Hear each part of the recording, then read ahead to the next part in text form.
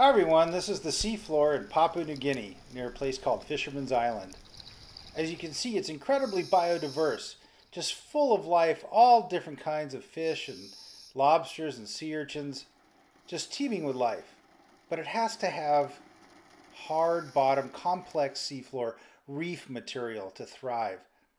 The men and women at Fisherman's Island three years ago signed a compact with us where they agreed to stop dynamite fishing in exchange for new reefs. Lower away! We kept our word and they kept theirs. So recently we deployed the very first man made reef in the entire country of Papua New Guinea. We placed 21 fish reef units in 36 feet of water off of Fisherman's Island. Okay, engine stop. We copy you down, Eagle. Listen, uh, Here. The Eagle has landed.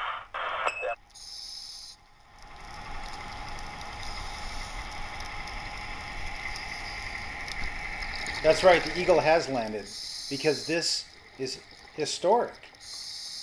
The people of Papua New Guinea have chosen to take ocean health into their own hands and moving ahead, making their ocean healthier and more productive because reefs are rare and they are a limiting factor in the production of marine life. The more reefs you have, the more marine life, the more biodiversity you have. And marine life is a form of national wealth, especially in a place like Papua New Guinea that does not have a dole system or a welfare system where people often need to turn to the sea for their food, for their sustenance. So, therefore, having robust, thriving coral ecosystems and the related fisheries serves the people. It is the ultimate form of benefits sharing for the citizens of Papua New Guinea.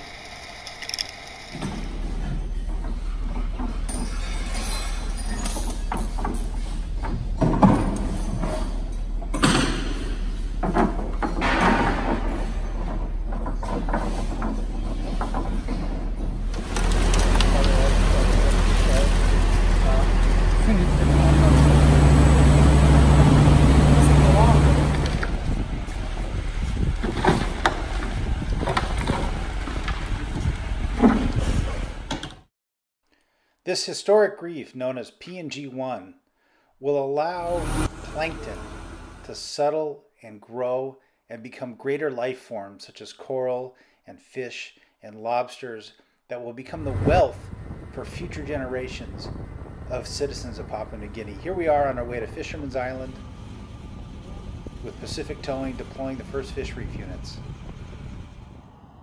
And there she is, PNG1 on the seafloor.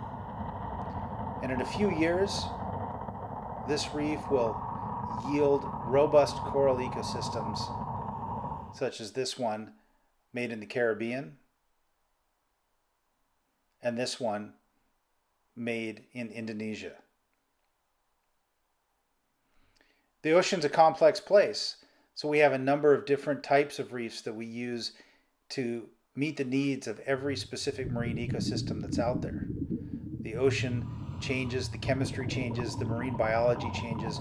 So you need different types of reefs for each situation. Here's the first tenants of the new reef. A whole family of clownfish moved in just two hours after we put these reefs on the seafloor. And we look forward to monitoring these reefs for years to come and sharing the videos with the population of Papua New Guinea and providing first quality science to the people of Papua New Guinea and the entire world. So I'd like to thank everybody who was part of this project, and I'd like to thank you for helping ocean life thrive.